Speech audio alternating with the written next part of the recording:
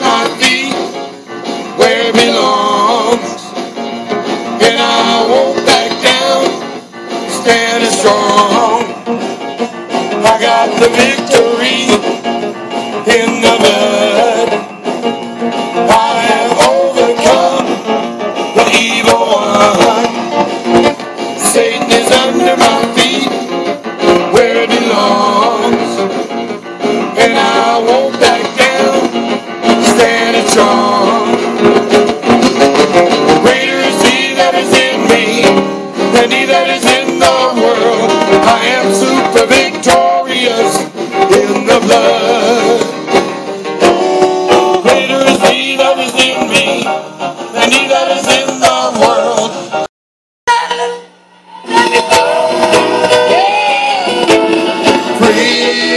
freedom.